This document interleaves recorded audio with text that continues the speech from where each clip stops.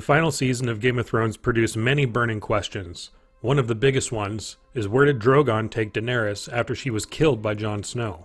I've heard countless fan theories suggesting what happened and what Drogon's intentions were. Some more outlandish than others, but entertaining nonetheless. In this video, I'll be taking a look at some of my favorite theories that I've heard, as well as the one that I think is the most plausible. One of the more far-fetched theories that I've heard is that Drogon took her back to his old lair to eat her body. It's a pretty funny theory, but I just don't see that being the case. And the finale's commentary doesn't do this theory any favors. According to this commentary by D.B. Weiss, David Benioff, and Emilia Clarke, this most definitely did not happen. Here's a snippet of what they said. Here we go. Whole season of Drogon flying with your dead body. But apparently he'll eat it. He This is did what I it? hear. What? Yeah. Why, what do you mean? You heard heard- that from whom? From who? Who said I he heard did that from fans. They From said- they real say fans. he's gonna eat Oh, you. you heard it from real fans. Why would as he eat you? From real fans. Because that's apparently what happens. And then he poops you out? That's what happens where? That's what happens in the Targaryen. The dragons Oh, eat their oh, oh yeah, yeah, yeah. yeah. I But think first he, he has to buries drop me. you on the rocks to open you up. soften And Oh yeah, open me up. Tenderize and you. then, Nom, Pick you up, drop you. Pick you No, up, drop you. Drogon's not gonna. Yeah. He's not a cat. Um, no, yeah, exactly. No. He's not gonna eat you. Didn't you see how gently he was nudging you? I mean, he loves Yes, you. I You're do. his mama. I It's not he like the other know. dragons. It's safe to say that this theory is as dead as Joffrey after drinking an Olenna Tyrell special. Another theory I've heard, which is the coolest theory, is that Drogon took Daenerys to be resurrected by Kinvara, the Red Priestess from Season 6. It's unlikely that dragons would be smart enough to know who Kinvara is and where she is at. But as referenced in the earlier stages of the show, some maesters do consider dragons to be smarter than humans. This would be a pretty amazing scenario. I mean, let's take a step back and look at how big this could be if it really did happen. Daenerys would immediately want to seek revenge. If you thought the destruction of King's Landing was bad, Daenerys' new plans would dwarf that onslaught. We know that the finale of the show had a time jump of at least a few weeks at a minimum.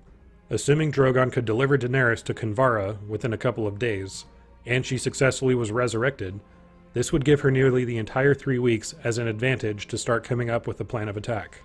I imagine her first stop would be to head back to the Bay of Dragons and acquire the help of the Second Sons once again, which is still likely led by ex-lover Daario Naharis. It would be a shock if he didn't do whatever she said, so I'm assuming she would gather that support and the small army rather quickly. Considering that Daenerys had gone full Mad Queen before her death, I don't think she would really have much regard for the citizens of the Bay of Dragons, even if the lack of support would possibly make it return to its slaving ways. Next, she would do everything in her power to find her loyal forces from her attack of King's Landing. Grey Worm led his unsullied forces to the island of Naath, the home of his late lover Missandei. He was still fiercely loyal to Daenerys' cause when we last saw him, so I also don't see this being much of an issue for her once she tracked him down. She would then try to seek out the Dothraki once again. We didn't really get a clear ending for the Dothraki, but we did see them boarding ships in the show's final minutes. The safest bet is that they'd return to the Dothraki Sea and return to their old way of life before Daenerys. Between all three of these large forces, I don't really see any of it being an issue. The only real question in regards to the forces is the number of fighters left after everything. The showrunners infamously kept going back and forth on the population of these forces throughout the season. The Dothraki seemed to become extinct after the Battle of Winterfell. Then there were countless numbers of them in Daenerys' victory speech, for example. Oh, and let's not forget about this unsullied gem. Daenerys would effectively have the same forces as she did for the Battle of Meereen, but minus two dragons and a whole lot of fighters. Yet, it's still enough to roll through a very vulnerable Westeros after the massive casualties that there were in the final season. The last two variables in this story are the fact that Daenerys would have to once again cross the Narrow Sea, and that King Bran the Broken would most definitely see them coming. That would give the Six Kingdoms plenty of prep time with Bran knowing their every move at all times, just like I mentioned in my other Bran breakdown video. It would make for a pretty awesome follow up movie or an additional season. With the public outcry against the final season, I wouldn't say it's impossible for something like this to happen, but I won't be holding my breath. There is, of course, a possibility that Daenerys would wake up and be completely exhausted by everything. She was betrayed by literally everyone in her eyes, except Grey Worm and Drogon. She might just call it quits and want to give up the fight. Keep in mind that Jon Snow had the same mentality when he was initially revived. She might want nothing more to do with than just live in exile or to rekindle the relationship she had with Daario, but nothing more. As far as the plausibility of her resurrection, I'm not completely convinced. But according to the commentary of the final episode, Drogon was heading east towards Volantis, which is where the Red Priestess resides. Everyone keeps on asking me where he's taken me. East towards Volantis.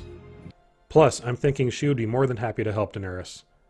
In all, I'd say this theory is unlikely, but definitely possible.